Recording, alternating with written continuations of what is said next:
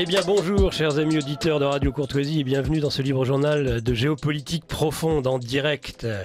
Magnifique euh, danse du sabre euh, qui va donner le ton de cette émission euh, d'aujourd'hui. le sujet, le thème, ça va être la peste, on pourrait dire la lèpre. Woke, et on pourra en parler. En plus, l'actualité nous sert sur le sujet, ce qui est parfait. En l'occurrence, je remercie évidemment Arnaud à la technique pour la réalisation de cette émission. Euh, nous avons Patrice qui euh, répondra à vos questions, observations, que ce soit par téléphone ou par courriel électronique. Euh, je salue, elle est avec nous aujourd'hui en chair et en os, comme ce fut le cas mercredi pour le Libre Journal de la Résistance française, Lara Stam. Bonjour Lara. Bonjour Nicolas, bonjour chers auditeurs. Nous avons cette fois-ci, euh, il est déjà euh, parti euh, vers d'autres contrées, l'oiseau. On ne le rattrapera pas, on aura du mal en tout cas. C'est Raphaël Besselu qui est notre directeur de la publication de géopolitique profonde qui n'est plus euh, dans le studio, qui n'est plus à Paris, à mon avis, euh, dès qu'il peut euh, s'échapper de ce village Potemkin, véritable enfer, et pas seulement enfer routier, mais enfer tout court, même si paraît-il c'est ce week-end que s'ouvrent les portes de l'enfer à Toulouse. Bonjour Raphaël. Bonjour Nicolas, c'est Oscar Freisinger et tous les invités, enfin tous les auditeurs de Radio Courtoisie. Bah, ils sont tous invités, c'est un bon lapsus. Tous invités à, durant cette émission euh, qui va tourner donc, je vous le disais, autour de la, de la lèpre, de la peste woke. Mais sans plus attendre, nous allons débuter cette revue de presse de la fin des temps.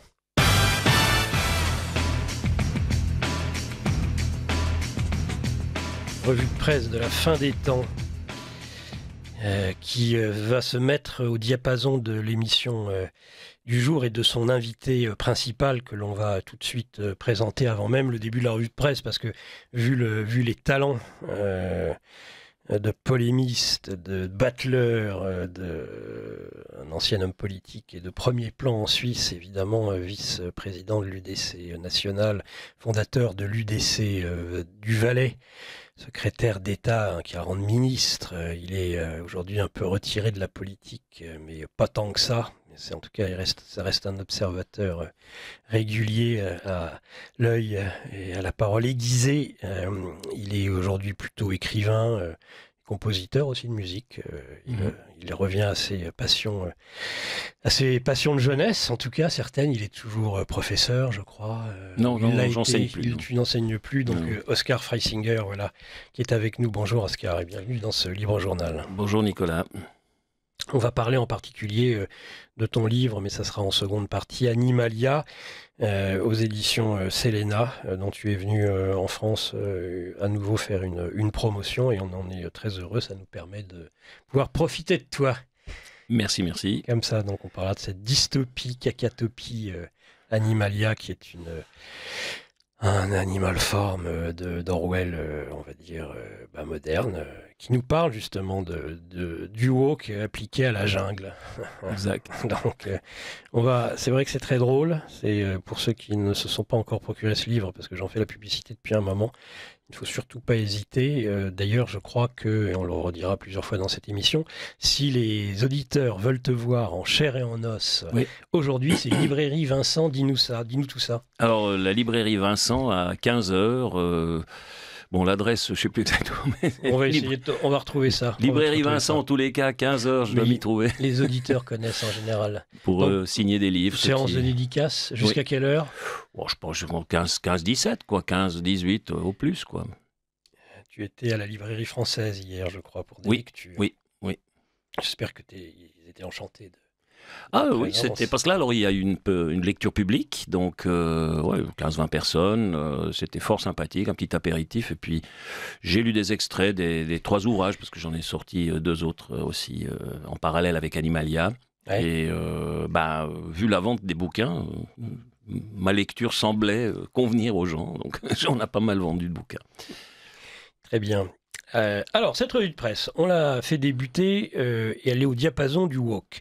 Pourquoi ne pas commencer dans ce cas-là euh, par cette esquisse de, bras d'honneur de la, la, grande prêtresse de la déconstruction française, l'élu au Parlement, Madame Sandrine Rousseau, qui donc esquisse hier ou avant-hier un bras d'honneur en direction des membres élus de ses collègues du Rassemblement national. Mais c'est pas bien ça, Madame Rousseau. Ça, c'est digne d'un homme qui est pas déconstruit, un bras d'honneur. Vous êtes laissé aller, hein. il va falloir faire quelques séances de déconstruction, à mon avis. Hein. Ça, c'est pas possible. Alors, elle s'est excusée. Bon, elle s'est pas excusée tout de suite. Hein. Ce qu'elle a gardé de, ce qu'elle a gardé de, de, pire, en fait, ce qu'elle a gardé du féminin, euh, c'est ses plus mauvais côtés. C'est-à-dire, entre autres, cette mauvaise foi chevillée au corps. Donc, tant qu'on n'a pas réussi à lui mettre le nez dessus, en disant, et ça, c'est pas vous, peut-être, qui est en train de faire un bras d'honneur, visionnant avec des caméras, eh bien, elle ne l'aurait pas admis. Elle a mmh. fini par l'admettre et a concédé une, quelques excuses, pas plus. En plus, sachant qu'avec ces gens-là, euh, on ne, ils ne demandent pas des excuses, ils mmh. s'excusent. Ils n'attendent pas le retour, ils n'attendent pas qu'on leur dise, bah éventuellement, bah non, on va pas vous excuser, on va vous mmh. mettre à l'amende, Madame Rousseau, on va vous retirer une partie de vos, euh, de vos émoluments, on va vous priver euh, de l'hémicycle pendant 15 jours, un mois. Vous permettez une petite boutade Moi, la prochaine fois, je lui conseille la quenelle. Féministe comme elle est, il y a le mot elle dedans, n'est-ce pas? La quenelle, c'est parfait pour elle.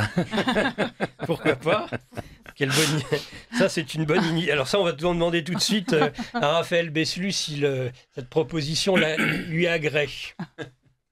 Je, crois que la quenelle a, été potentiellement interdite parce que je vous rappelle c'est considéré comme un salut nazi inversé. C'est complètement idiot, c'est stupide. Tomber dans les heures les plus sombres. Ce sont les fantasmes. Mais absolument, mais encore une fois, c'est qu'il faut surveiller l'actualité au sein de l'hémicycle. C'est toujours, c'est-à-dire c'est une cour de récréation absolument absurde. Il y a eu de nombreux événements qui ont eu lieu. On a eu un, un, député qui a expliqué qu'il fallait arrêter de parler du travail au noir parce que c'était raciste. Pourquoi parlons-nous parlons, parlons de travail au noir et de vote blanc? On en est à ce niveau-là de ridicule. Et le fait qu'on puisse autoriser des bras d'honneur, des insultes, il faut savoir que c'est assez régulier quand vous regardez les images, parce qu'on peut suivre en direct. Hein, euh, ce qui se passe à l'Assemblée. Et on peut voir des enfants qui, pour eux, tout va bien, ils sont bien financés, ils peuvent euh, rigoler, faire euh, des insultes, des, doigts d'honneur, s'envoyer des petits papiers. Souvenez-vous de Gabriel Attal qui lisait un petit papier en étant, en faisant des petits regards en coin, avec des petits clins d'œil, en se léchant les lèvres. C'est notre politique française. Et oui, et oui, et oui. Donc la quenelle, c'est pas, c'est pas féministe comme geste. Ah non, c'est pas très Il faudrait peut-être l'appeler la quenielle. la quenielle. excellent, la quenielle. Bah, de toute façon, Sandrine Rousseau, on sait, euh, elle a l'habitude hein, de faire des signes non cabalistiques, attention. Mais quenielle ne va pas parce qu'il y a que devant. ça, commence fort. Cette émission, Cette émission commence fort, en tous les cas. C'est vrai. Hein. On les aime bien déconstruits, Madame Rousseau, les hommes. Ça, on avait bien compris. On avait parfaitement compris. Il y en a un qui l'a parfaitement compris. C'est Tucker Carlson. Euh, mais avant, euh, donc, euh, elle est adepte de toute façon de ce genre de, de signe. Rappelez-vous qu'elle faisait un, signe qui est une sorte d'inversion du cœur. On se demande à quoi ressemblait d'ailleurs cette espèce de, faux bonnet phrygien pendant les, les JO qui étaient atroces, qui étaient mmh. moches comme tout. Euh, mais en tout cas, elle, elle faisait un signe. Il faisait un signe. Ils, se sont amusés, les écolos et les filles, lors de la dernière mandature, faire des signes en fait qui représentaient, je crois, le vagin féminin. Non, non, mais l'inversion du cœur, si vous regardez bien, ça, ça fait un fessier ah, féminin. Ah, mais ça, alors ça, pour le coup, alors il remplace l'amour par le cul. Vous voyez, non, mais c'est. Mais à l'origine, c'est un, mais à l'origine, c'est un symbole dionysiaque. eh ben voilà. Qu'on retrouvait entre autres dans le tarot, dans certaines cartes du tarot euh, au Moyen Âge, qui en effet, et on a repris ça mais il faut savoir qu'en fait, ce signe du cœur, qui ressemble pas tant que ça à un cœur, en fait, c'est bien une inversion. Eh Et, c'est bien une paire de fesses. Ah Et ça, évidemment, euh, qu'on aille lorgner sur une paire de fesses, euh, j'imagine que c'est pas c'est pas digne d'un homme bien déconstruit, selon Madame Sandrine. La profondeur de ces gens-là, euh, elle se mesure en centimètres. Certes. Alors, celui qui et, on va on pourra refaire à ce moment-là un tour de table euh, sur, euh, le, sur le thème que je souhaite aborder justement, qui est, lié à, à, cela en France, c'est le, le retour triomphal de Tucker Carlson, euh, qui, dont on sait qu'il est devenu une figure du proue du mouvement MAGA, qu'il soutient pleinement Donald Trump dans sa tentative de reconquête de la Maison Blanche, et qui se déchaîne hein, littéralement actuellement au même titre, c'est un des chevaux légers de Trump, au même titre que qu'Elon Musk, de soutien fort à sa candidature. Tucker Carlson rappelle que c'était quand même le journaliste vedette numéro un aux États-Unis sur Fox News, que sur une vague, une sombre histoire liée aux, machines à voter, eh bien, il a été obligé à un moment donné euh, de démissionner, de quitter, euh, parce qu'il n'a pas eu le soutien à ce moment-là euh, de ses employeurs Fox News, mais grand bien finalement lui a pris, puisque ça lui a permis par la suite finalement d'avoir eh ben, un soutien plus important encore des internautes, puisqu'il a créé une chaîne d'information qui est justement, qui se veut comme chaîne d'information, une, une chaîne pour la liberté d'expression. Euh, il est allé, entre autres, évidemment, euh, parmi ses euh, retentissantes interviews, il y a eu l'interview de, Poutine. Poutine en Russie. Donc, des millions, de, des dizaines de centaines de millions de vues. voilà. Et donc la, la machine à, voter Dominion l'a peut-être achevé sur Fox News, puisqu'il en avait dénoncé le, semble-t-il, l'arnaque fondamentale dans le cadre général de la vague de, fraude électorale qui avait ponctué l'élection de Biden en 2020 et dont Trump conteste toujours d'ailleurs euh, la viabilité des résultats. On fait des émissions actuellement hein, sur Géopolitique Profonde ou sur Radio Courtoisie sur justement le système électoral américain euh, et ses vices euh, fondamentaux. Il y aura une émission pas plus tard que ce soir sur le la chaîne principale de GPTV avec Oscar Freisinger et avec euh, David Lane sur ce sujet, euh, qui à mon avis, et j'ai aussi euh, reçu, nous l'aurons dans huit jours maintenant, une interview exclusive dans ce libre journal de géopolitique profonde de David Lane, qui nous expliquera absolument tout sur un système, c'est la soi-disant plus grande démocratie du monde, qui est un système électoral digne d'une république bananière. Alors, je reviens euh, à Tucker Carlson. Euh, Tucker Carlson, il a lancé une formule sur un des derniers meetings de, Donald Trump. Euh, papa est de retour à la maison et il est furieux. Il, promet à Kamala Harris une bonne fessée. Euh, tu as été une vilaine fille, tu vas recevoir une fessée euh, vigoureuse et tu l'as bien mérité. J'imagine en France si un homme politique se permettait de dire un truc pareil. Ah mais là, là, la Sandrine Rousseau, mais vous la faites vriller, là, définitivement. Non, mais vous vous rendez compte ce que l'on peut encore dire en termes de liberté d'expression aux États-Unis hein, Une vilaine fille, tu vas avoir une fessée vigoureuse, sachant qu'en plus la fessée est interdite. Hein. Enfin, c'est formellement ah interdit d'administrer une fessée. Enfin, sauf consentement ah, mutuel. Sauf, sauf, voilà, certaines... sauf dans certains, certains milieux et, clubs. Là, par contre. Qui n'étaient pas confinés d'ailleurs. Où il n'y a que les fesses qui dépassent du latex. Euh. faisons attention aux enfants. oh, ben, oui, c'est vrai qu'il est, une heure relativement. Il, est tôt encore, c'est pas une émission du soir. Et donc, euh, euh, qu'est-ce qu'il dit Il faut que je retrouve euh, cet élément. Oui, voilà. et donc, bon, il traite de figurante en carton, de figure en carton cette euh, Kamala Harris et Tim Walz. Alors il dit Tim Walz, voilà, ils ont choisi Tim Walz parce qu'ils avaient, ils avaient besoin d'un homme faible. Les démocrates sont le parti, c'est Tucker Carlson, hein. les démocrates sont le parti des hommes faibles et des femmes malheureuses, l'un menant à l'autre d'ailleurs. Ils le font exprès, ils affaiblissent les hommes pour rendre les femmes malheureuses. Mais moi je trouve ça extraordinaire. C'est ce qu'on appelle the last waltz. C'est-à-dire? La dernière valse, the last waltz. La dernière waltz ah, dernière valse. Ah bah oui. Euh, un commentaire, euh, Raphaël, sur euh, ces hommes malheureux, non, ces hommes faibles et ces femmes malheureuses en conséquence. Pour les États-Unis, vous voulez dire? Ah, bah, Pour le monde entier Pour les États-Unis, et puis on peut l'étendre. Bah, je vais me concentrer plutôt sur les États-Unis parce qu'on approche quand même de la date fatidique des élections. Euh, pour savoir qui sera le prochain président. Il semblerait, d'après les sondages d'ailleurs, que Donald Trump est une très grande avance. C'est vrai que Kamala Harris est plutôt catastrophique. Par contre, Tucker Carlson, il faut savoir aussi que c'est quand même un agent de propagande pro-Trump, dans le bon sens du terme, peut-être, parce qu'il euh, se bat pour notre cause. il faut dire que Tim Walz, bon, il attaque euh, vivement, mais Tim Walz n'est pas forcément si mauvais que ça. Hein. si vous avez vu le débat qu'il y a eu avec les vice-présidents, les candidats pour ensuite être vice-président, eh bien, Tim Walz avait débattu avec J.D. Vance. Eh bien, n'est pas forcément le plus bête, au contraire, c'est celui qui remonte un tout petit peu le niveau, tristement, de ce Parti démocrate, qui est extrêmement mauvais, malheureusement, pour cette campagne. Mais bon, de toute façon, en tout cas, ça fait plaisir de pouvoir avoir une communication qui est libre. Parce que je vous rappelle qu'on est normalement dans, un monde avec énormément de censure, avec une absence de liberté d'expression. On peut se faire attaquer pour injure, incitation à la haine. Et on voit qu'aux États-Unis, il semblerait qu'il y ait une nouvelle vague qui apparaisse, un élan de liberté qui puisse relâcher avec une aisance sur les réseaux ou même lors de meetings, eh bien, une certaine frustration qui est bien méritée. Donc ça fait plaisir à voir. Bah, moi, je me rappelle un de vos invités spécialistes des États-Unis qui disait de Tim Walz c'est un marxiste. Alors ça, c'est Paul Rine.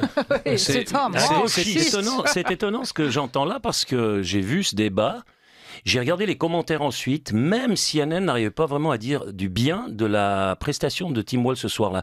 D'autant plus qu'il s'est fait piéger plusieurs fois, surtout sur le fait qu'il a essayé de, de, nier avoir été en Chine au moment où il y avait Tiananmen, etc. Là, il a essayé de bricoler, euh, il a dû euh, avouer qu'il avait menti. Enfin, il a dit qu'il avait, enfin, la mauvaise mémoire, n'est-ce pas? Mais bon, euh, là, il s'est fait piéger.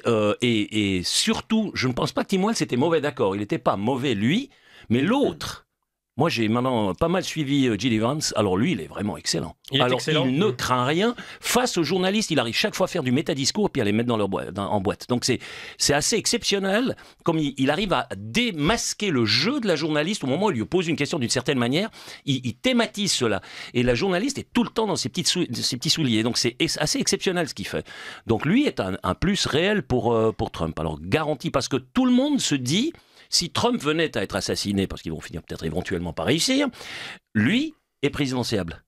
Non, mais euh, il est. Donc ça, ça, ça, fait quand même euh, bien. Et s'il l'élimine, euh, ce qui n'est une hypothèse qui n'est peut-être pas totalement à négliger après qu'il ait été élu, euh, et qu'on nous fasse le coup de l'Iran. Tiens, les Iraniens ont été bombardés euh, cette nuit. Oui, mais bon, il semblerait que d'abord les Américains leur ont dit où les bombes allaient tomber, donc si j'ai bien compris. Puis ensuite, je pense qu'ils avaient quand même euh, les Russes entre-temps qui avaient livré des S-300 ou peut-être même des Totalement, c'est ce que vous aviez dit d'ailleurs eh sur une précédente interview.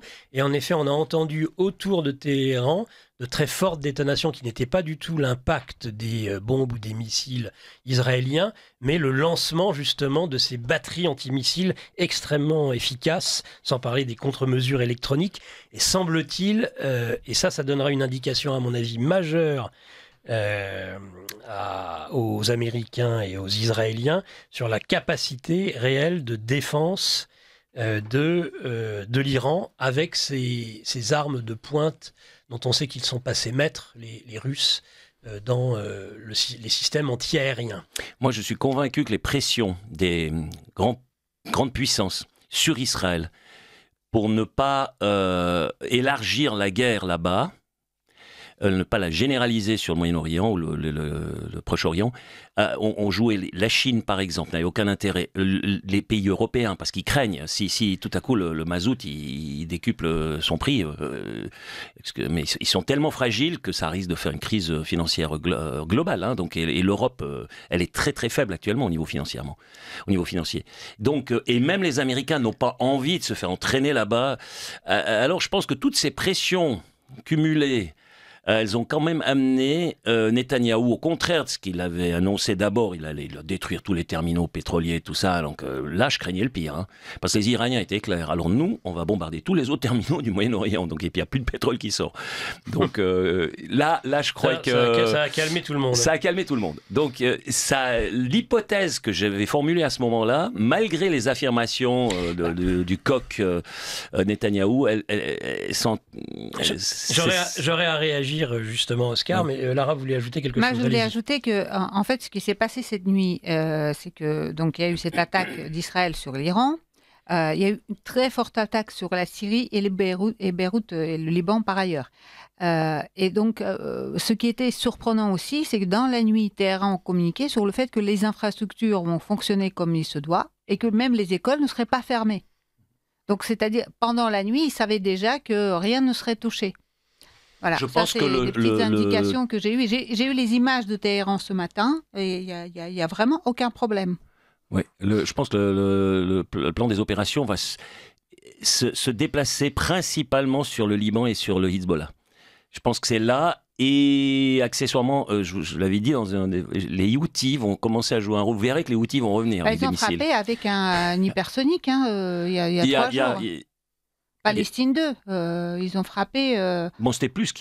Il y a trois jours seulement Non, c'était bien avant. Oui, peut-être une, ouais, peut-être une ou deux semaines. Mais, enfin, ils, avaient, ils, avaient, réussi à, pénétrer l'espace aérien israélien. Ça montre qu'ils ont la capacité de le faire. Mm. Et je pense que plus ça continuera là-bas, plus les outils vont être munis de missiles qui permettront justement de...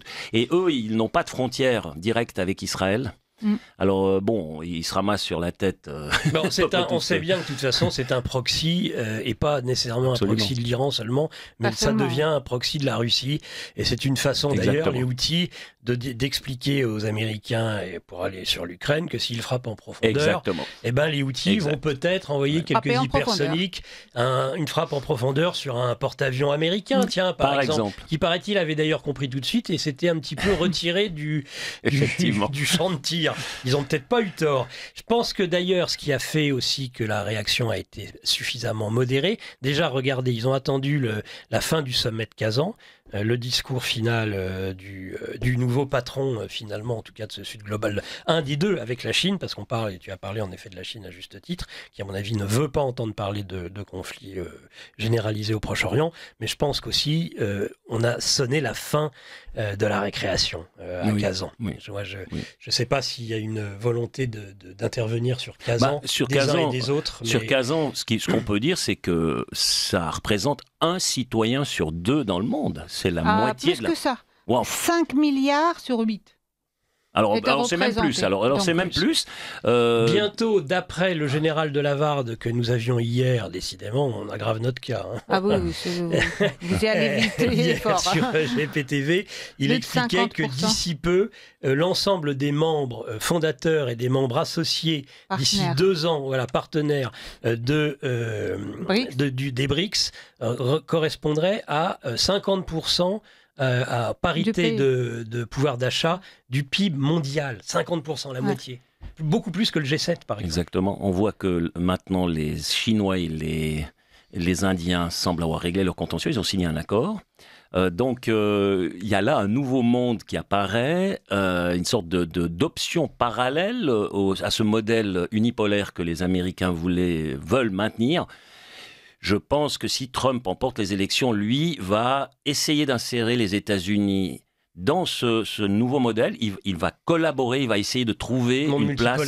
Il va devenir un partenaire des BRICS. mais, absolument, moi je, je, suis convaincu. Et, et je pense qu'il va surtout essayer de s'approcher de Poutine pour essayer de de le, euh, faire revenir un peu vers l'Occident, euh, parce que pour le moment, alors, il, est, complètement évidemment axé sur, sur la, Chine et puis l'extrême le, le, Sud global. Et il n'a pas, le choix. Il n'a pas le choix, le maître du Kremlin.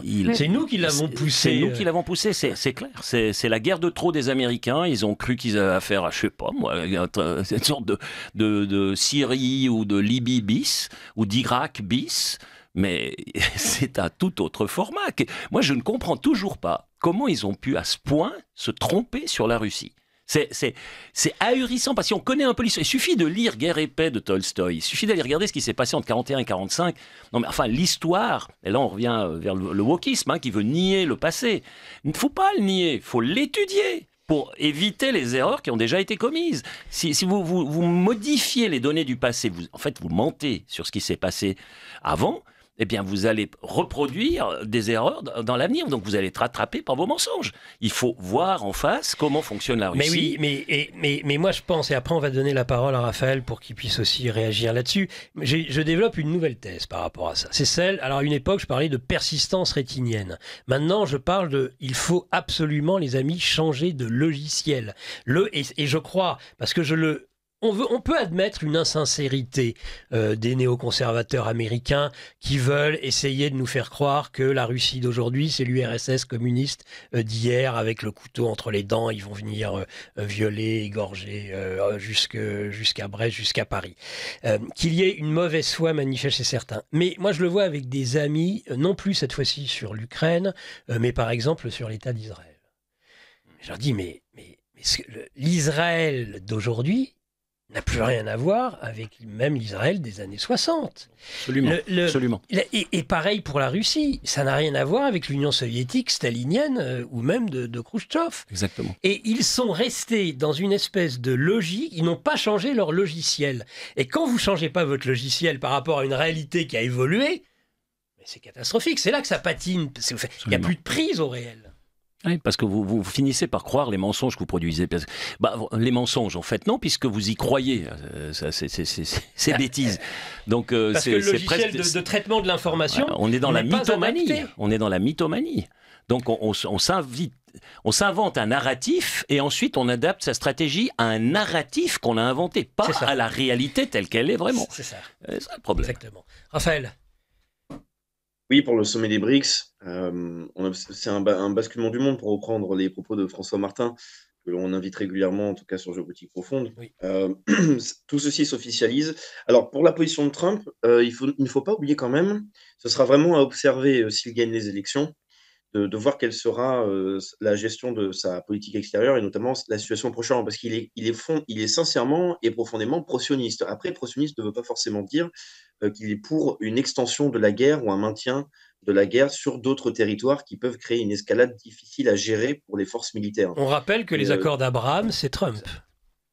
Voilà, et en fait, il ne faut pas oublier, enfin voilà, donc il, est, c'est le camp démocrate d'ailleurs hein, qui est critiqué pour être vivement pro-palestinien, euh, même vouloir plutôt servir l'Iran. Bon, il y a des guerres de communication, donc les termes sont forcément un peu exagérés, mais les républicains sont profondément sionistes. Hein. Ils n'ont aucun intérêt à euh, protéger la Palestine, euh, se battre pour euh, Gaza. Ils veulent défendre Israël, mais ils veulent calmer. Mais est-ce que Raphaël, vous n'avez pas un problème de logiciel aussi MAGA, je suis désolé, c'est plus le même parti républicain. C'est ce que me disent les gens qui sont justement extrêmement favorables à Israël. C'est de toute façon les républicains, c'est les sionistes finis. Mais moi, je, je pense que la révolution actuelle au sein même entre les démocrates, il y a des inversions de pôle à tous les niveaux actuellement dans le monde. Et moi, je ne partage pas l'opinion euh, du euh, de l'hypersionisme. Et d'ailleurs, même ces mots, à mon avis, ont changé de sens, n'ont plus la même perception de sens, selon moi.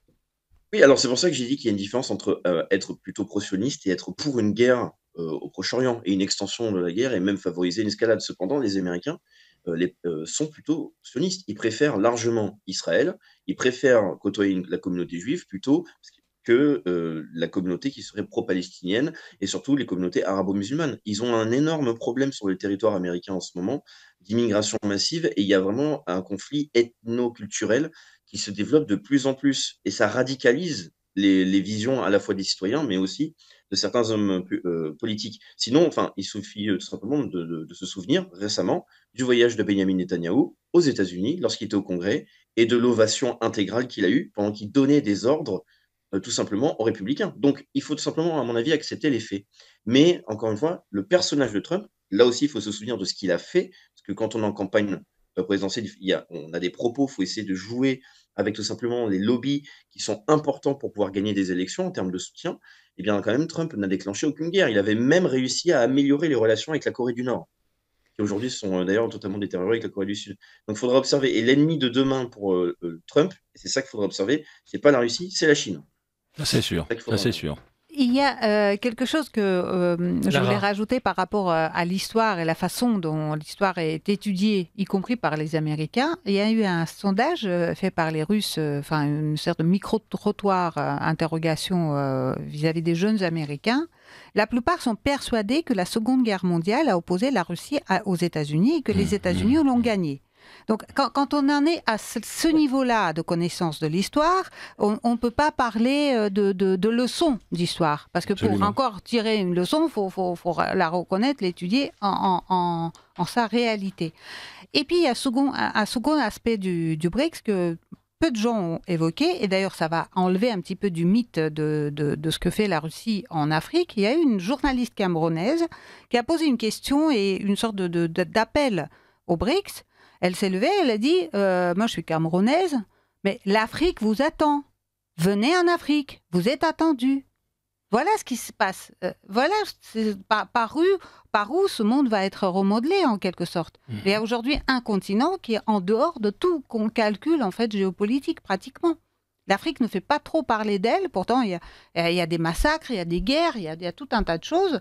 Et, euh, et, et, aujourd'hui, enfin, bientôt, ce sera quand même une, euh, voilà, quelque chose d'important de, tenir compte de, l'Afrique. Et l'Afrique mhm. appelle la Russie et les BRICS à venir. Ah bah oui, mais ça on l'a remarqué, entre autres, ils viennent occuper une place que nous laissons vide. À l'origine, les Américains, euh, comme on le sait d'habitude, ce qui sont les meilleurs ennemis, ou plutôt les pieds, les meilleurs, les plus mauvais amis, enfin je n'en sais plus rien, un faux ami en tout cas des Français, euh, nous ont créé les pires problèmes, mais ils n'ont pas pris la place pour autant. Bah écoutez, il ne faut pas s'étonner que les Russes et les Chinois prennent la place, les laisser vacantes par, entre autres, l'ancienne puissance coloniale française dans la zone du Sahel, les Russes sont très présents. Donc, euh, puisque ils, ont des, troupes, des, depuis qu'on a décampé, depuis qu'on a décampé, les Russes plutôt euh, avec euh, évidemment Wagner prennent cette place qu'a laissée la l'armée française là-bas et les Chinois, eux, c'est le commerce. Mais ils prennent, pour mon avis, très sérieusement l'Afrique. Je crois que les Chinois, en tout cas, s'impliquent pas mal dans, dans, des affaires euh, avec, avec la, les Africains. La, plupart des universités françaises sont remplies de jeunes Chinois qui apprennent euh, à travers le français, enfin, euh,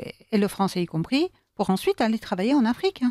Ah c'est pas pour, euh, ils visent pas la France comme mettant le, les jardins d'Éden pour, euh, pour, pour, la suite. Hein. Il y a des choses trois euh, qui se perdent. Bon, bah très bien. Je pense qu'on a à peu près fini cette revue de presse des auditeurs. Bonjour, bonjour, bonjour, bonjour Lara, Nicolas Raphaël. L'équipe est au complet comme GPTV. Bah oui. Eh bien, la danse du sabre, ça promet. Bonjour la technique. Bonjour Oscar, vous permettez. Faut venir à Limoges, nous dit cette ah, auditrice. D'accord. Oscar, faut venir Pour à être limogé ou bien euh, Un auditeur, vous mettez ce matin les sardines en boîte, référence à Sandrine Rousseau.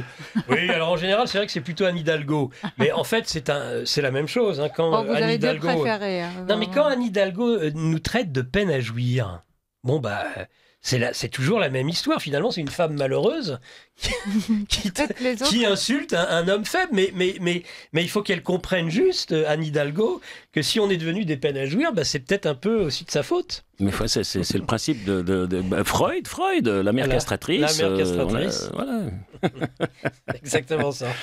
Bon, euh, Raphaël, c'est fini, c'est bon, termine ou est encore. Je dirais simplement que pour, pour que pour Sardine, n'oublie pas en fait que Sardine, c'est pour Sardine Ruisseau. C'est parce que la pauvre Sandrine est en guerre avec un compte parodique sur, euh, le, sur X où elle a porté plainte euh, pour harcèlement parce que voilà, maintenant vous avez de plus en plus de comptes parodiques et Sardine Ruisseau, c'est vrai que c'est peut-être l'un des meilleurs comptes. Donc des fois, on a sincèrement du mal à savoir si c'est Sardine ou Sandrine qui écrit.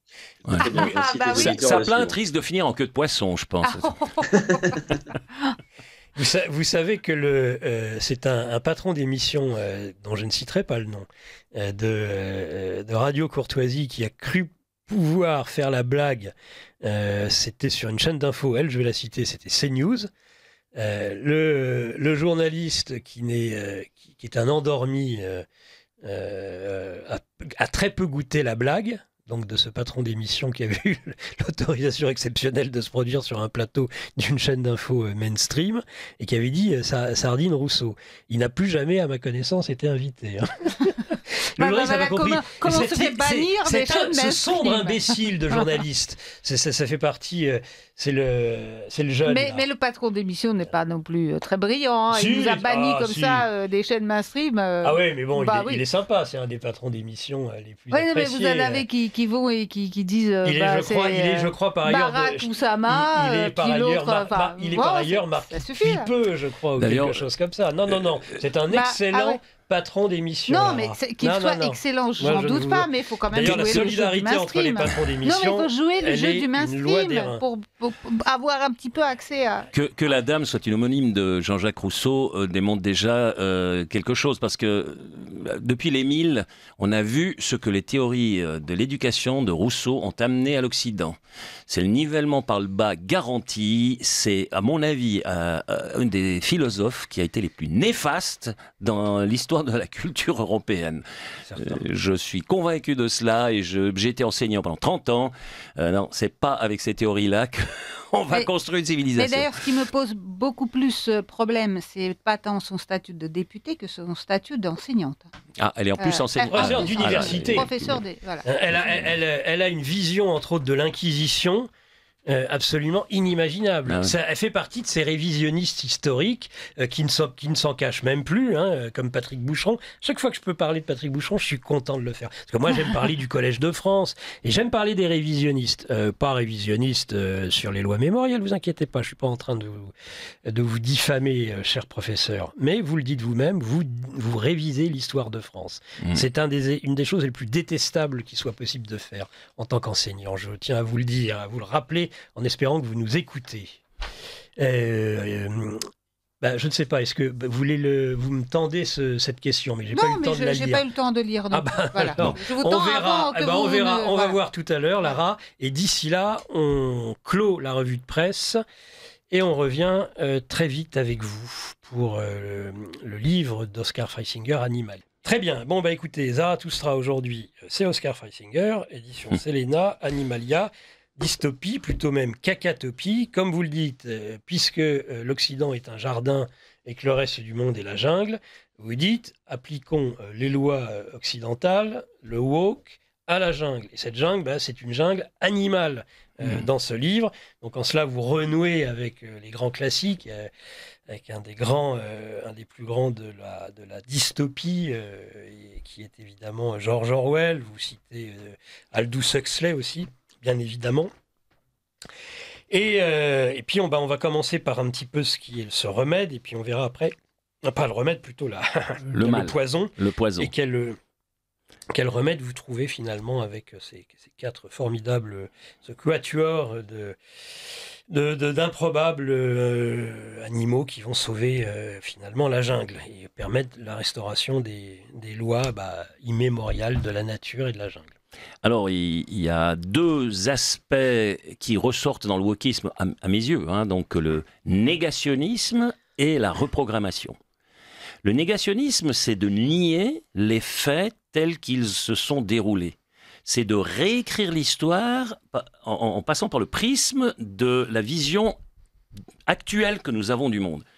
Mais chaque époque, à son niveau, au moment où elle a eu lieu, avait une logique qui lui était propre. Donc vous ne pouvez pas commencer à vouloir mesurer la Grèce antique euh, avec euh, les, mesures de la modernité. Ça, ne joue tout simplement pas. Vous ne pouvez pas euh, passer tout ça par le filtre de ce que nous considérons aujourd'hui comme politiquement correct. Parce que vous allez automatiquement fausser les données. Si vous, si, vous essayez de réécrire tout ça, c'est comme il y a eu des tentatives de réécrire des comptes euh, il y a la patrouille du compte, là. Il y avait un, auteur qui avait écrit un roman où il, corrigeait les comptes pour qu'ils deviennent politiquement corrects. Non, mais enfin, il reste plus rien, quoi. Donc, vous pouvez oublier le, petit chaperon rouge, le blanche-neige, tout ça. Euh, Quand on, sait qu'à l'origine, en plus, il y a déjà eu, euh, au fil du temps, sur les comptes qui n'étaient pas des comptes du tout pour enfants à l'origine, on a éliminé déjà plein de choses. Il faut savoir que Cendrillon, probablement étymologiquement, ça veut dire cul-cendron. C'est-à-dire qu'elle mettait le cul dans la cendre. Ah C'était d'ailleurs qui était une pratique dont on ne sait pas trop, puisque on retrouve la même chose chez Comme, comme euh, vous, vous prenez Bruno Bettelheim, qui avait analysé Max Luthi en Suisse, ils avaient analysé justement la, la psychologie, la psychanalyse des contes de, de, Grimm, des, contes de fées, etc. Et on voit qu'il y a euh, que le subconscient des enfants arrivait très très bien à lire, à, lire les messages subliminaux. Donc c'était, ça faisait partie de, de l'éducation des enfants. Euh, donc il fallait fallait pas leur cacher les, cruautés de la vie. Il euh, y, a, chaque élément dans ces contes a, une raison profonde d'exister. Et il y, a, toute une symbolique, comme les rêves. Freud avait analysé euh, le monde des rêves, etc. Donc euh, ici, on a une, équipe de, de, de, je sais pas moi, de, de bien-pensants qui pensent qu'il faut, il faut euh, tout éradiquer ce qui pourrait euh, être une aspérité, qui pourrait empêcher leur dogme euh, du, meilleur des mondes, parce qu'on est clairement du, du Aldous Huxley 2.0, pour qui pourrait empêcher l'avènement de ce monde-là. Mais ce monde a pour modèle non pas une civilisation humaine, mais une fourmilière. Et donc, si vous allez mentir sur le passé, ce que vous allez, vous, n'allez pas créer un avenir de vérité. Comment voulez-vous créer un avenir de vérité attaché à la vérité si vous avez menti sur le passé?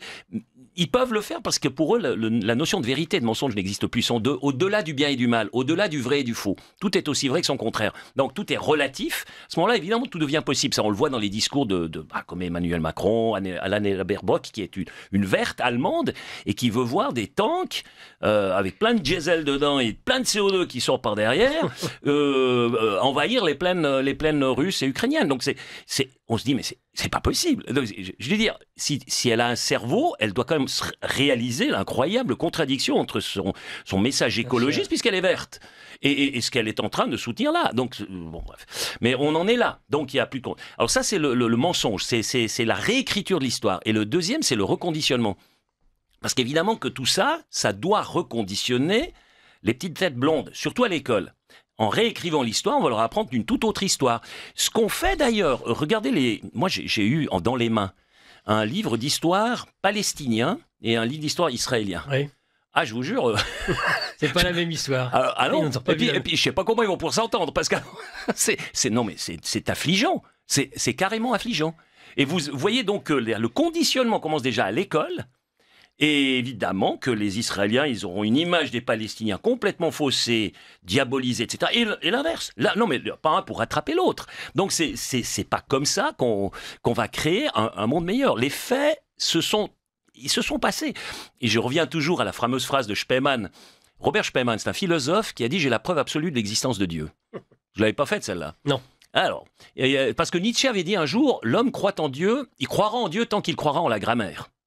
Et Spemann est parti de cette phrase en se disant, mais alors, est-ce qu'il y a une disposition grammaticale qui soit de valeur absolue, hmm. qui ne puisse absolument pas être remise en question, que rien ne peut ni le temps qui passe, ni aucune critique, ni aucune contre-vérité, etc. Rien ne peut remettre en question.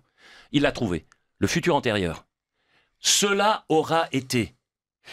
L'instant que nous vivons, dans dix ans, il aura été. Dans mille ans, il aura été. La Terre peut s'effacer de, l'horizon, elle aura été. Euh, pour toute éternité, elle aura été. Et dans la mémoire invisible du monde, elle aura été. Point. Je peux faire ce que je veux. Cela aura été. est impossible à remettre en question.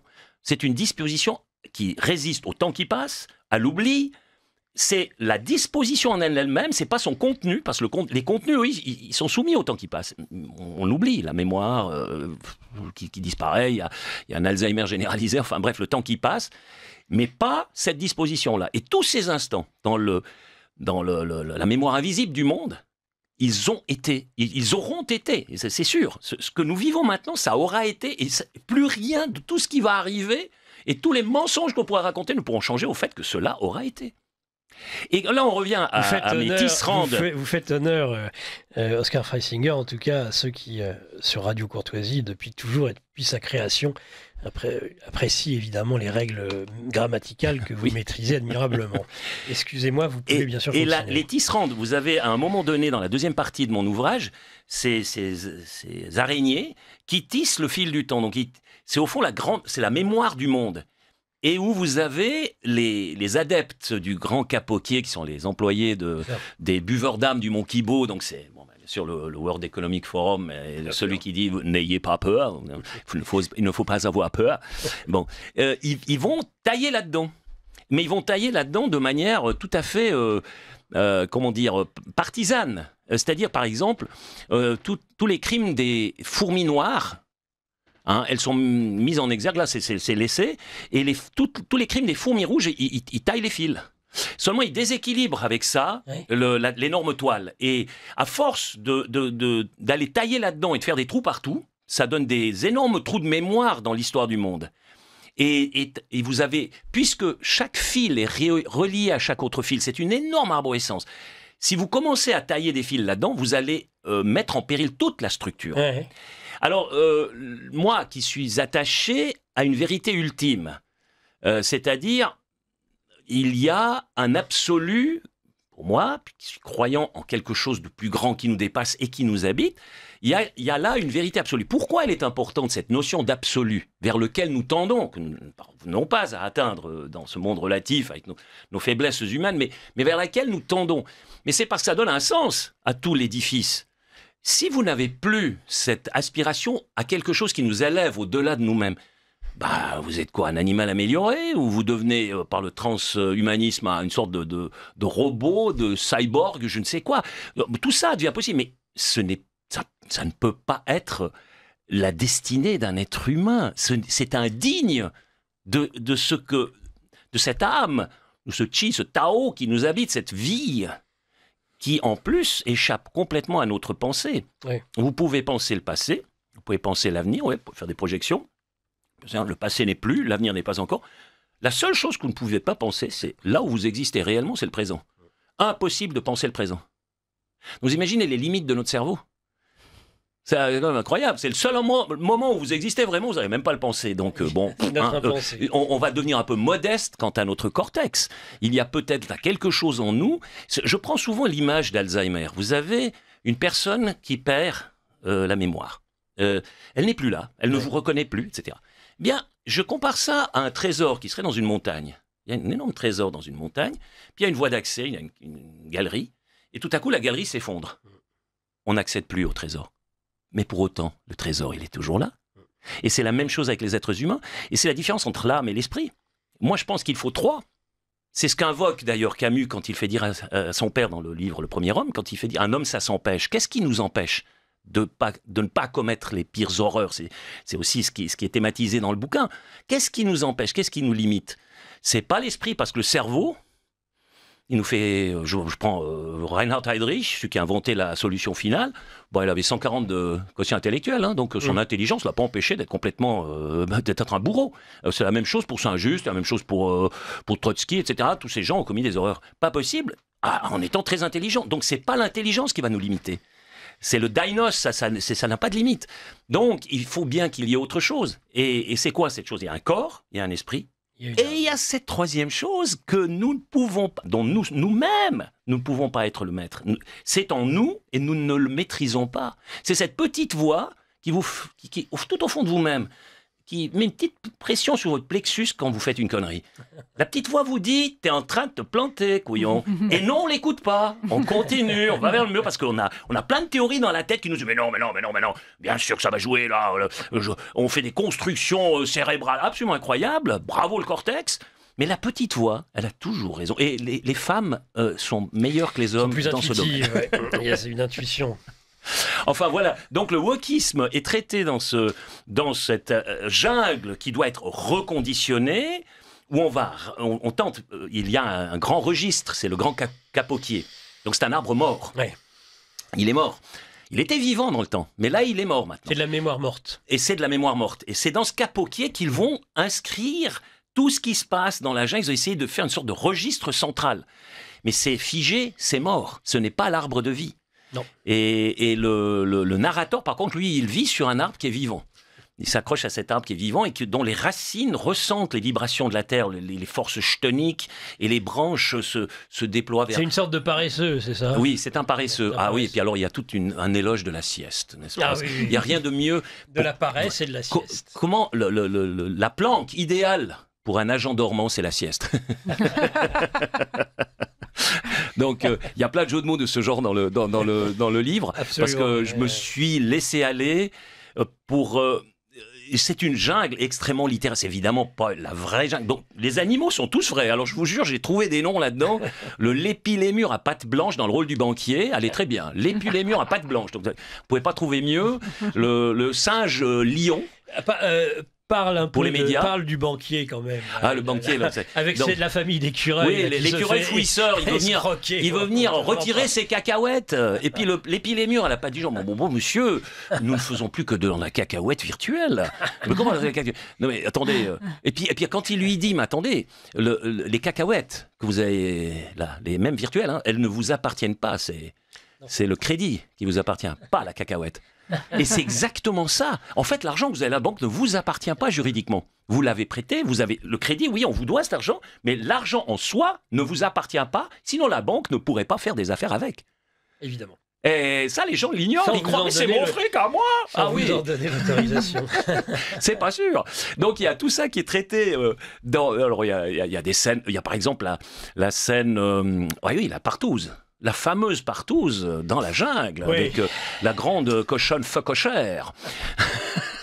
Alors là, je, je, laisse découvrir au lecteur parce que ce serait, euh, je, n'ose presque pas sur l'antenne ici. Ben, en tout cas, même les animaux, hein. même les animaux perdent de, un dérèglement de leur propre mœurs à cause de cette peste, de cette lèpre et cette idéologie qui vient s'insinuer. Il y, a, il y a, par exemple la, la, cigogne qui essaye euh, d'éduquer les, les, petits. Alors il faut, il faut enseigner aux panthères de voir la vie en rose. c'est tout le temps, c'est truffé de ce genre de choses. Je fais constamment des références à des éléments culturels, euh, à des, des poèmes. Il y a par exemple la, la, la girafe qui s'appelle Belle de l'air. Belle de l'air, voilà, vous voyez venir. Donc elle va faire un, un poème à un certain moment et c'est exactement le, maître et la structure de l'invitation au voyage de Baudelaire. Donc j'ai constamment ces références. Alors évidemment, euh, on, peut le lire au premier degré, au deuxième degré, mais ça va jusqu'au quatrième degré. Euh, parce que l'éditrice, elle a voulu lui corriger un truc. Je lui ai dit non, non, non, ça c'est du quatrième degré. Et puis je lui ai expliqué. Elle a dit oh, putain, alors, non, mais tu vas vraiment loin. Parce que là, alors, elle voulait corriger. Je dit non, c'est pas une erreur, c'est voulu.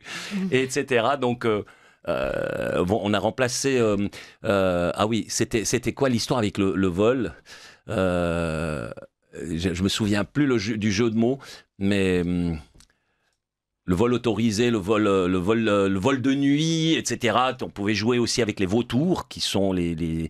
et il y a un élément, c'est la hyénitude. C'est-à-dire que ces gens-là. C'est un rire de hyène qui se prend que chaque euh, animal euh, qui a contracté cette peste woke euh, va avoir. C'est un ricanement et un rictus. Ils, se transforment peu à peu en hyènes et, ils ont ce, rire des hyènes, mais c'est un rire sans joie.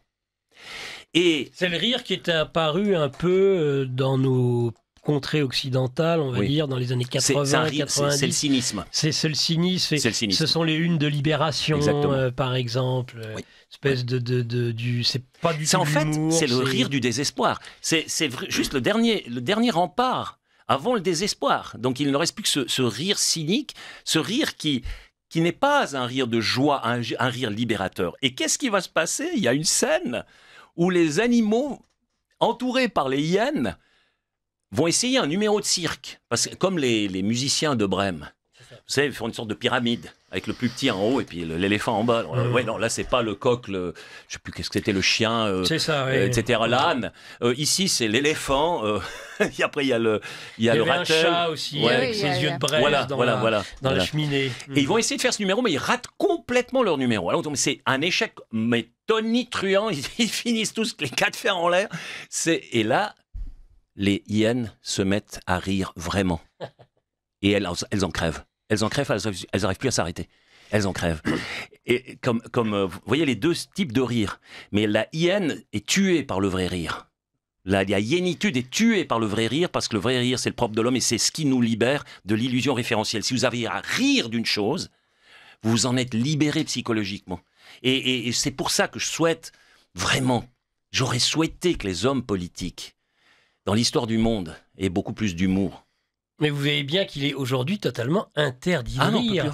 Philippe Muret, euh, Philippe Muret était celui qui était le dernier à avoir essayé de rire. En particulier, c'était Delanoë, euh, et il nous manque aujourd'hui sur euh, les frasques d'Hidalgo. Mais et d'ailleurs, vous voyez bien des gens comme on revient sur Sandrine Rousseau ont une exécration du, de, la, du, rire. C'est obligatoirement paternaliste, c'est finalement toujours phallocrate le rire. Ce qui est fou, c'est qu'ils n'ont pas d'humour, mais ils nous font rire. Euh, c'est presque un rire jaune, mais, mais ils nous font rire parce qu'ils sont tellement cons que finalement, on voit les phrases. Je vous donne une bah. phrase de Annalé Baerbock. Elle dit Si Poutine veut que nous négocions avec lui, il va devoir faire une volte-face de 360 degrés. Alors là, vous voyez, vous êtes obligé de rire quand même. Évidemment.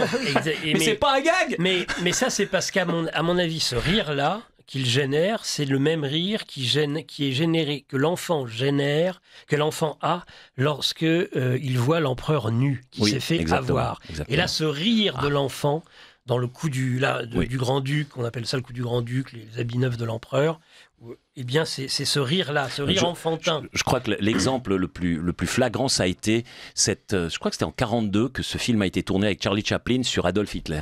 Quand il, il, il, euh, jouait avec cette, cette, lampe. le monde, et puis ça éclate. et, mais mais la, présentation d'Adolf Hitler dans ce film, c'est exceptionnel. Et quand il fait son discours en allemand, c'est pas de l'allemand, c'est n'importe quoi. Il y a ça, ah et puis il va avec des mots pas possibles. Ça semble être de l'allemand, c'est pas du tout de l'allemand. Mais, mais ça marche, c'est exceptionnel. Mais ça, c'est insupportable parce que vous imaginez tout le pouvoir d'un dictateur par un seul rire. Il vole en éclats, il, est fini. Ce rire c'est insupportable pour lui, ça doit le poursuivre la nuit. Alors le rire des hyènes, lui, c'est tout à fait autre chose. C'est un rire. Euh, bah, euh, Ce rire, le rire des hyènes, le rire des hyènes, c'est là j'ai retrouvé le mot précis quand je parlais des années 80-90 avec les lunes de, de libération. C'est le rire de dérision. Hmm. Cette espèce de moquerie, de, c'est un rire exterminateur. C'est le qui, en effet, euh, la dérision n'est pas du tout, n'est pas joyeuse. C'est un rire mauvais. C'est un rire mauvais. Sarcastique. Sarcastique, mauvais.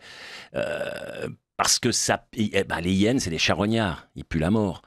Et donc, euh, alors ils sont utiles parce qu'ils font disparaître les, les charniers, ils font disparaître les charniers, donc euh, voilà. Ils mais épargnent des maladies en fait. Tout à fait. Il faut dévorer le vieil homme, on va dire. Mais ils, aident, ils, aident, à quelque chose, à la, à la disparition du vieil homme. Mais dans le bouquin, étant donné la, cette, ce Great Reset qui est appliqué, là, ce wokisme qui est appliqué, en faisant disparaître les cadavres, ils font disparaître, dans le décompte des morts, ils font disparaître les morts. Ce qu'on a quand même à un certain moment ensuite essayé de faire, pas sur les effets du Covid. Là, on a amplifié le chiffre.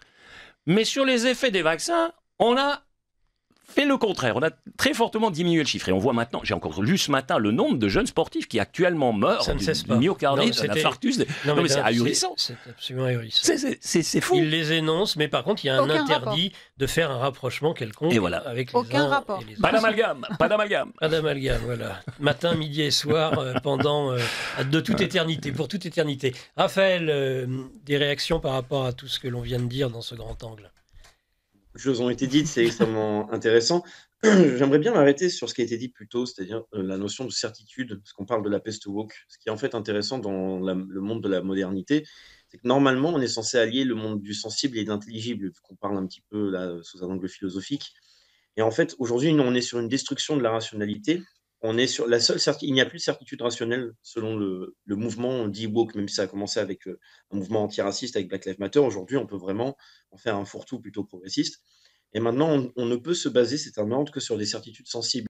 Et en fait, on doit se baser uniquement sur les émotions personnelles qui peuvent, qui peuvent d'ailleurs apparaître, et c'est ça qui est complexe, c'est que les émotions aujourd'hui modernes apparaissent dans un système dysfonctionnel.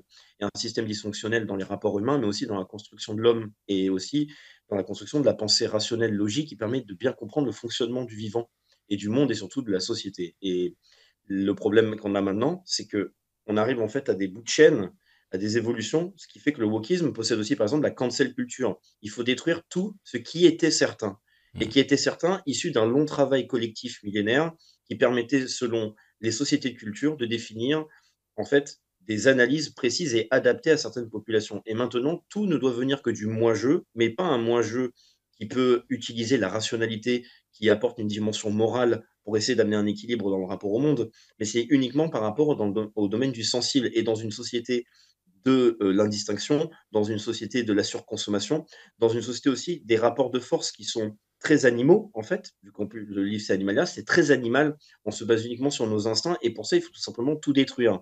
Et c'est une des grandes problématiques, je pense, métaphysiques de la société du monde moderne, c'est-à-dire qu'il n'y a plus aucune certitude rationnelle. Et on a pu voir l'évolution d'ailleurs à travers l'histoire en Occident, c'est un peu euh, des, une sorte de, de tumeur qui s'est développée avec la pensée rationaliste, avec la raison qui devient uniquement raison d'elle-même et qui n'a plus de lien avec normalement une dimension, une sorte de verticalité euh, spirituelle. Et maintenant, ça se, ça se manifeste avec un espèce de monstre progressiste aujourd'hui. Et quelle est la mission de cette peste woke? Quelle est la mission de, ce, de, de cet enfer progressiste? C'est de détruire toutes les certitudes liées au réel, justement, et à la nature. Et mmh. c'est quelque chose de très problématique. Et pour, à mon avis, lutter contre ça, eh bien, il faut tout simplement revenir à des fondamentaux qui sont des certitudes. D'ailleurs, le, socle basique, c'est les lois de la nature et du réel. C'est pour ça qu'on en vient même avec le progressisme, le wokisme, le LGBTisme, à plus parler de, de, papa, de maman, qui en fait un mmh. père ou d'une mère, on va dire de parent 1, parent 2. C'est un monde qui, est, qui utilise euh, la finalité de la, un monde de, de surmathématisation du monde.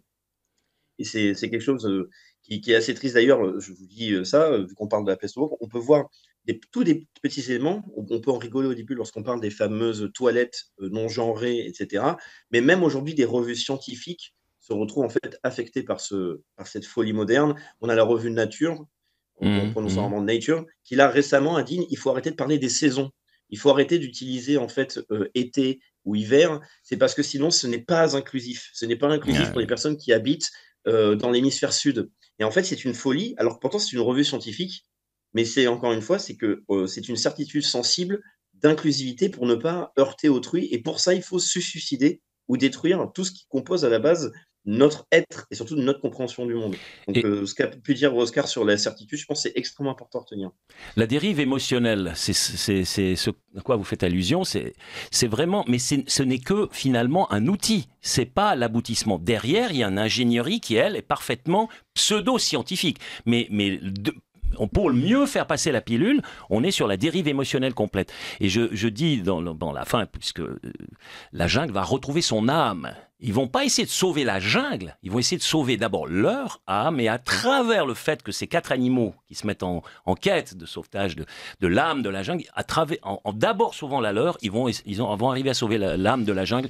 Et j'ai une phrase qui résume bien le bouquin, c'est de dire quand euh, l'animal fait la bête, il devient très humain. Oui, tout à fait. Mais par rapport à ce que vient de dire euh, Raphaël, c'est le, dans cette dernière partie d'émission, c'est parler justement des solutions euh, à adopter par rapport euh, à cette euh, peste, à cette lèpre woke dont on parle. Donc c'est les lois de la nature, c'est ce que vous avez dit, c'est ce que vous dites souvent, c'est-à-dire que ces quatre animaux, ils se réfugient dans la nature.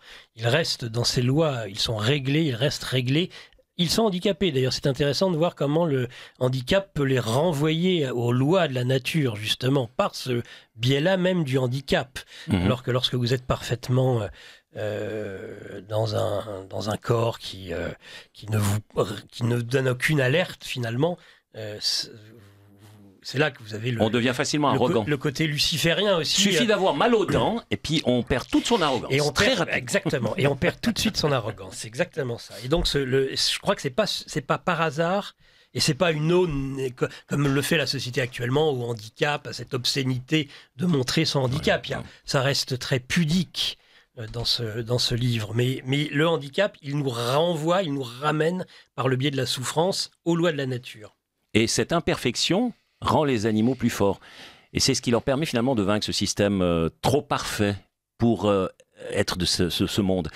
Euh, tous, tous, ces systèmes qui, ont, qui sont des, naissances par la tête, c'est des naissances du cortex comme ça, et, ils sont tous effondrés. Parce qu'il y a des lois fondamentales. Goethe en fait référence. Antigone, dans Antigone, Antigone par rapport à Créon, elle, elle se réfère à ces lois immuables, non écrites, tu peux pas bafouer ça sans que ça ne se retourne contre toi. On, va toujours être puni par où on a péché. C'est une loi fondamentale. Vous avez un punching ball devant vous. Plus vous tapez fort, plus il va vous revenir fort à la poire. C'est une loi fondamentale. Vous ne pouvez pas espérer taper tellement fort que le punching ball va rester suspendu en l'air. Mais c'est ce que le wokisme croit pouvoir faire. Il croit que le punching ball va rester suspendu. Ah, c'est complètement débile, mais ça, c'est toute la dialectique marxiste. Hein. Ça, part de là, hein, déjà. Euh, ils, avaient vraiment. Euh, parce qu'il y avait une directive de Mao, ils allaient semer euh, en plein hiver. il n'y a rien qui pousse. Non, ils, croyaient vraiment pouvoir faire remonter l'eau, la, pente, et ma foi, c'est complètement. C'est l'ibris. donc, quand, Nietzsche avait annoncé la mort de Dieu, c'est à un moment donné, il dit N'allons-nous pas devoir devenir des dieux nous-mêmes pour compenser cette, perte Nous avons détruit ce que nous avions de plus grand, de plus c'est ce qui donnait une stabilité à l'univers. C'est dans le, Gai Savoir. Hein, de, il a écrit ça une dizaine d'années avant de, sombrer dans la folie. Et, mais oui, mais, mais est-ce que l'homme vraiment est fait pour être Dieu?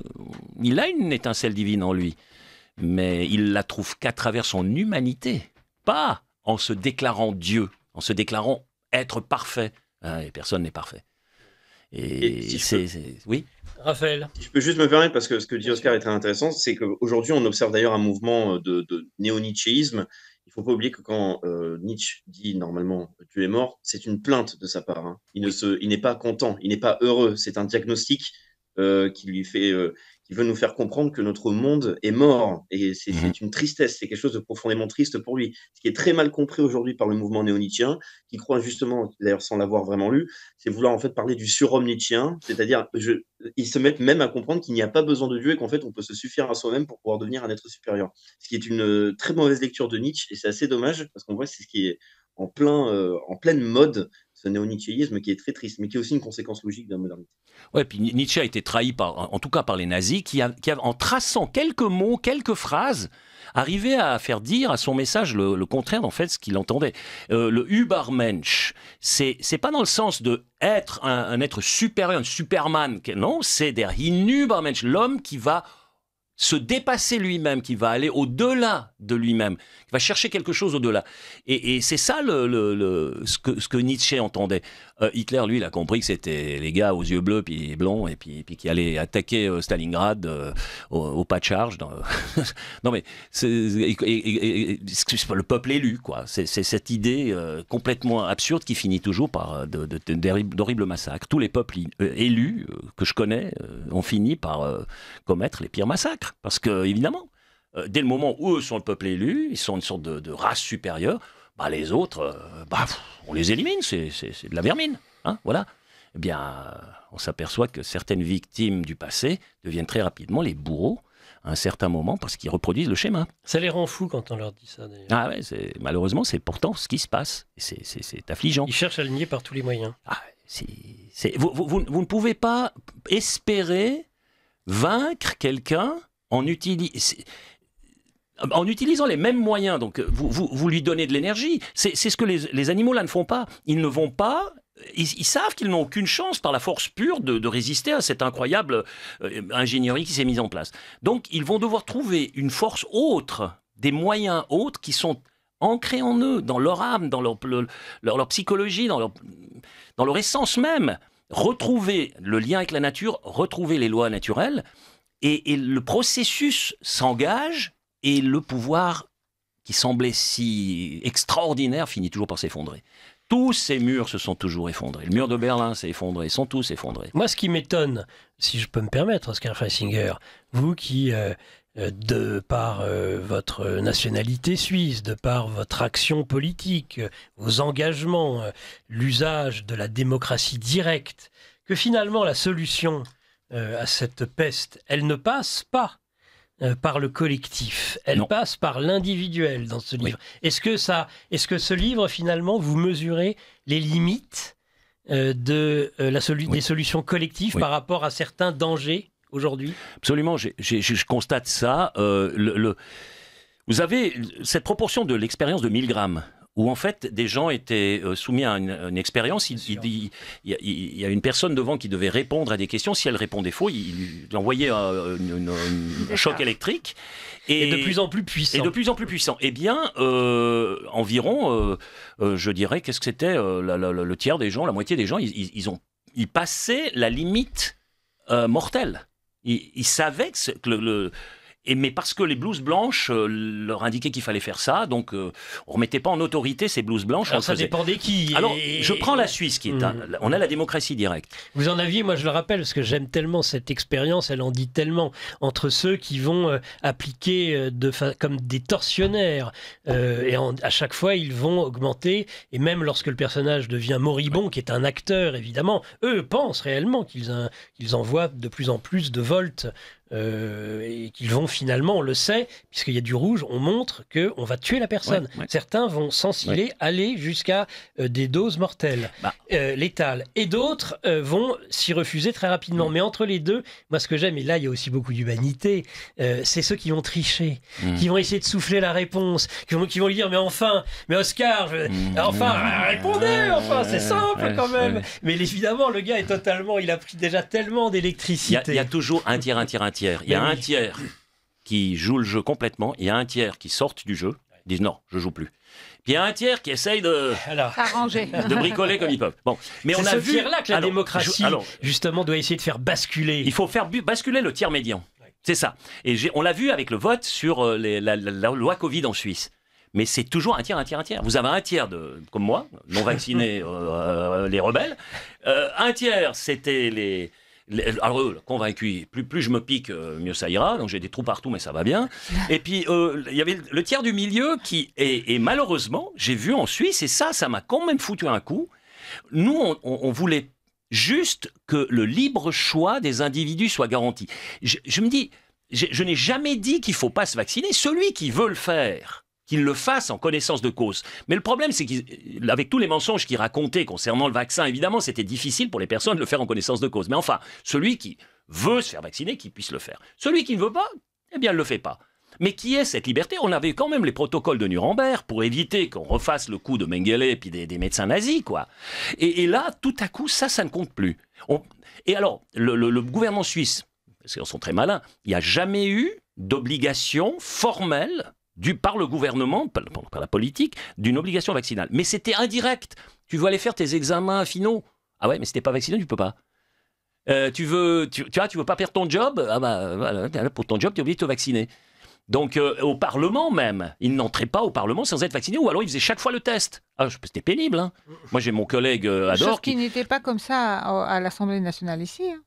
Ça, il n'y avait pas, pas de problème là-dessus. Alors, ah bah, chez nous, ça a quand même été euh, à, ce niveau-là assez contraignant.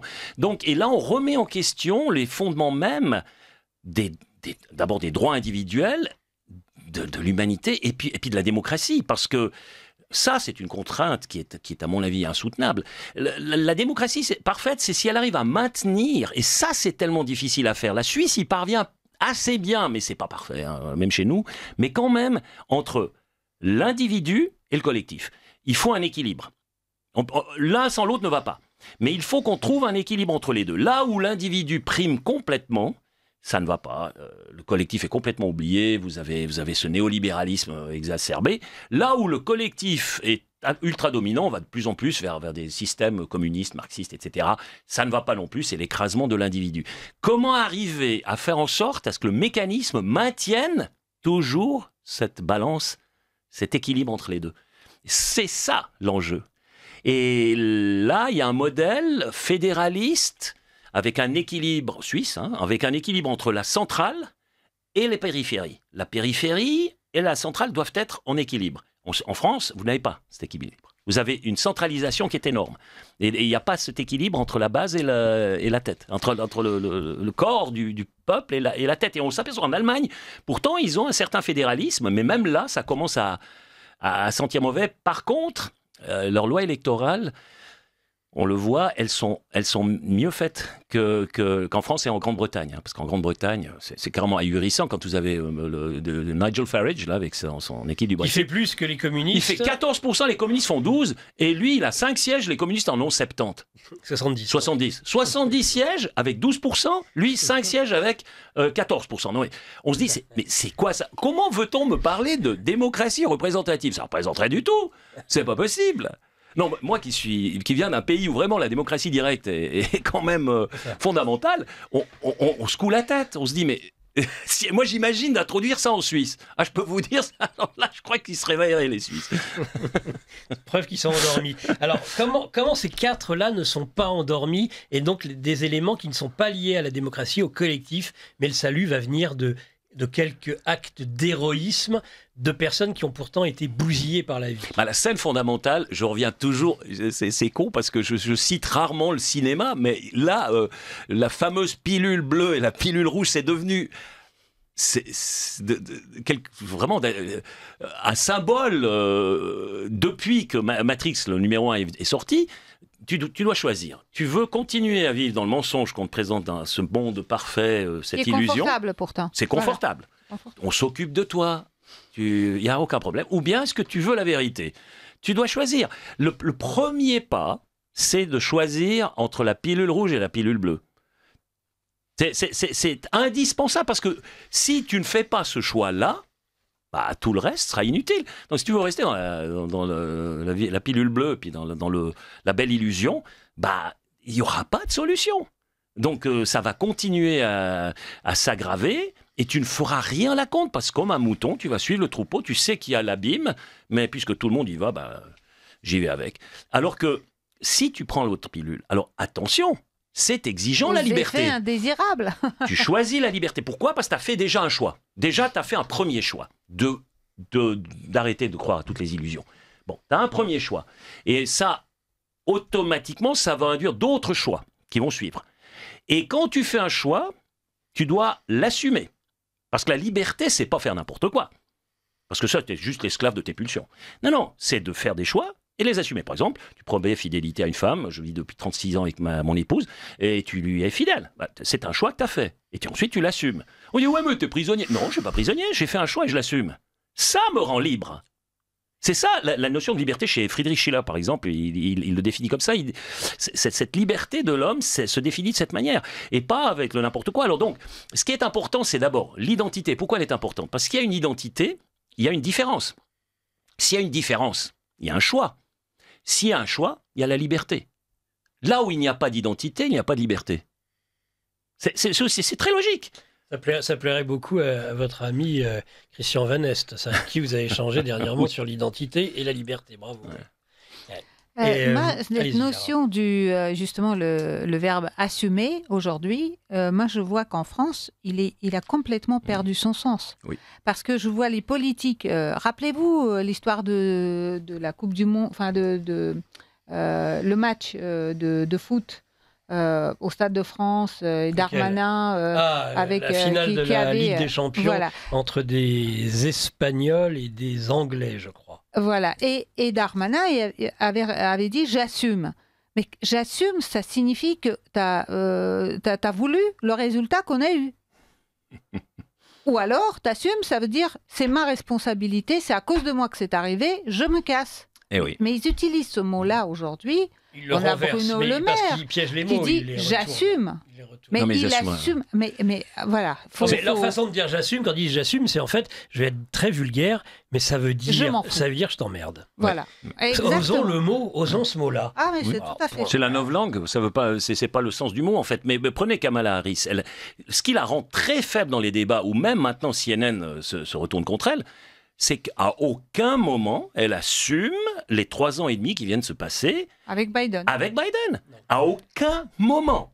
Et, ça, quand on sait l'état de Biden intellectuel, c'est-à-dire, ça aurait été un hyper président, etc., et puis avec une vice-présidente complètement euh, cachée parce qu'elle n'avait pas de place tellement le, hyper président a été. Euh, mais là, on avait quand même on, sait qu'on avait à la Maison Blanche. Elle aurait pu s'imposer, ça c'est sûr. Ah, elle, avait de la place. Hein. Elle avait, de la ah, place. vraiment la place. Elle avait de la place. Il la confondait, il disait Madame la Présidente Kamala Harris. Mais alors, quand on lui pose la question, euh, à quel moment avez-vous euh, compris que M. Biden euh, n'avait plus toute sa tête? À quel moment vous avez réalisé cela? Elle dit Trump est irresponsable. Il est, il est à la limite. Il est, il est au bout. il, est, il, est, fou. c'est, voilà, c'est Hitler, euh, Staline et je, voilà. Euh, non, mais attendez, bah c'est pas la question que je vous ai posée. C'est quand vous avez remarqué que Biden, et jamais, à aucun moment, elle avoue Biden, il était dément.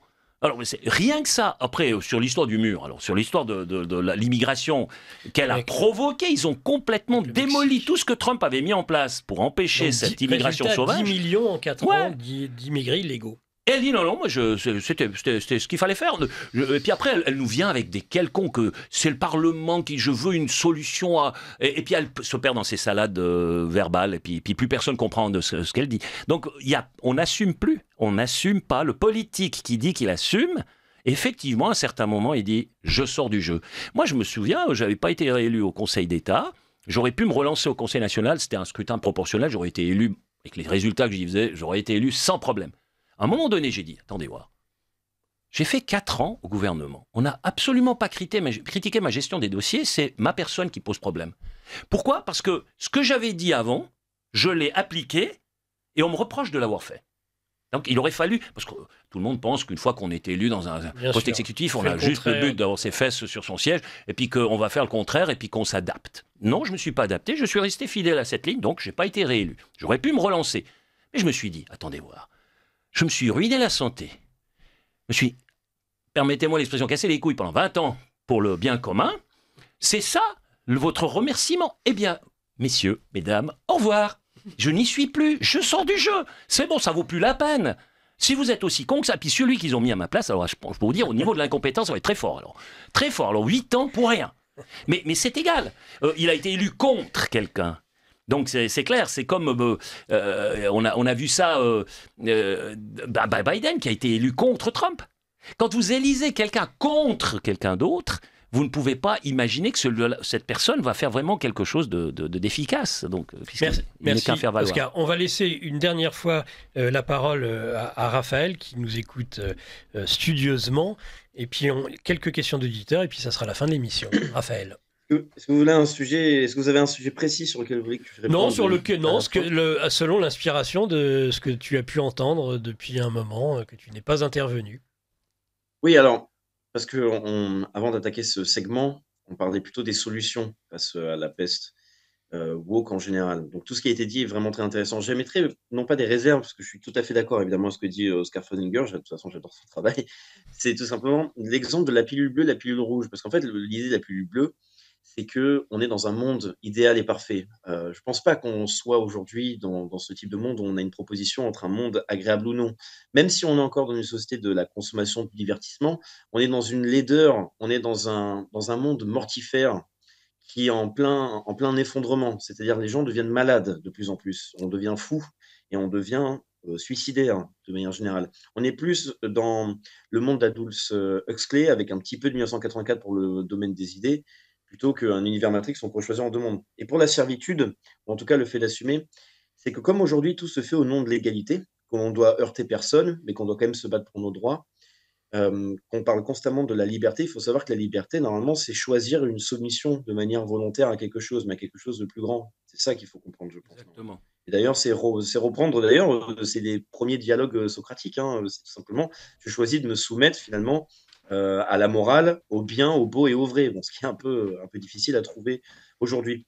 Donc moi, juste pour dire, pour conclure après, vous, enfin, vous laissez lire la question des auditeurs, c'est que je pense que pour les solutions qui, que l'on doit chercher aujourd'hui, c'est tout simplement, face à un monde malade, qui ne vise que la mort et qui ne vise la stérilité, parce qu'on en vient à stériliser les enfants avec le wokisme, on stérilise économiquement les personnes, on stérilise moralement, mentalement, métaphysiquement, on est dans un monde de stérilisation intégrale, le meilleur moyen de résistance, c'est de travailler sérieusement vers la fertilité. Et la fertilité, c'est pas uniquement euh, la fertilité avec des enfants. C'est tout ce qui va viser la grande vitalité et une puissance vitale, eh bien, nous permettra de résister. Et ça, ça demande de comprendre sincèrement ce à quoi il faut se soumettre. Comme nous ne sommes pas dans un monde d'égalité, mais d'inégalité, où est-ce qu'on se situe dans cette inégalité-là? Qu'est-ce qu'on peut faire pour s'améliorer? Et pour ça, ça nous demande à devenir de meilleurs citoyens, un meilleur homme ou une meilleure femme, ou un meilleur, je ne sais pas, adolescent en construction, mais un véritable étudiant, etc. Il faut en revenir à ces fondamentaux moraux, à mon avis, pour pouvoir définir des objectifs clairs et véritablement résister. Si je peux me permettre une phrase de Rilke, juste pour, pour, pour clore là-dessus, c'est un, dans un poème qui s'appelle Der Schauende, il dit, j'essaie de traduire en français, euh, Les victoires ne me tentent ou ne m'intéressent plus, ma croissance consiste à être profondément vaincu par ce qui me dépasse infiniment. Rainer Maria Rilke. Et il a tellement raison. C'est la seule voie possible. Et ça résume un peu ce que vous venez de dire. Tout à fait. Eh ben c'est parfait. Animalia, Oscar Freisinger euh, aux éditions euh, Selena. Donc euh, librairie Vincent aujourd'hui même, samedi à partir de 14h 15h. 15h, jusqu'à au moins 17h. Une séance de dédicace si vous voulez retrouver Oscar Freisinger, chers euh, euh, auditeurs. Si j'étais encore à Paris, euh, j'y serais. Malheureusement, je partirais vers d'autres contrées pour vous, êtes excusé, Vous êtes excusé puisque vous avez lu mon ouvrage. ah oui, oui, bien sûr. Alors, c'est surtout préciser que c'est une très belle édition. Voilà, c'est un livre qui fait pas mal à votre bibliothèque et qui fera très plaisir en cadeau de Noël exemple. En plus, vous pouvez le laisser traîner sur la plage. Euh, j'ai vraiment au soleil. Il ne, il est parce qu'il est cousu, donc il tient. Les ah. pages ne se détachent pas. C'est extraordinaire. Ça, j'ai pas toujours. il n'est pas plus cher qu'un autre. Non. Non, alors c'est vraiment une manufacture. Euh, mm. Je suis impressionné par la manufacture de ce livre. Alors merci encore à mon éditrice. Un auditeur, cher Nicolas, cher Oscar, cela aura été une autre preuve de l'existence de Dieu, de Jésus-Christ, est aussi grammatical. Écoutez bien, seul le Christ est capable de faire cette magnifique faute de français. Entre parenthèses, de concordance des temps, mais pas pour lui, quand il dit Avant qu'Abraham fût, je suis. Excellent, magnifique. Euh, la hyène. allez, on termine juste. Il nous reste une minute. Ben, on a le temps de lire le, poème, de Michel. l'auditeur, maintenant euh, inspiré. Il est revenu. il est revenu déjà la semaine dernière. La hyène germanique est la plus redoutable, d'après le Schtroumpf I0 Vax insupportable, qui se sent pourchassé en stress épouvantable par la meute affamée de toute chair rentable. Oh. Bravo, bravo. Ah bah écoutez, on est gâté, on est gâté avec des auditeurs aussi formidables et des invités aussi formidables. Et puis euh, à la technique, je remercie évidemment Arnaud, Sylvie, Patrick. Euh, Patrice. Patrice, ah, décidément, euh, pour le standard, Lara qui m'a assisté, Oscar Freisinger, évidemment. Merci Merci Oscar. Et maintenant, eh bien, vous allez. merci Raphaël. Vous allez, vous l'attendez tous, pouvoir écouter le, le, libre journal des controverses de Mike Borowski. Allez, c'est à son tour. Merci chers auditeurs de votre écoute et à la semaine prochaine.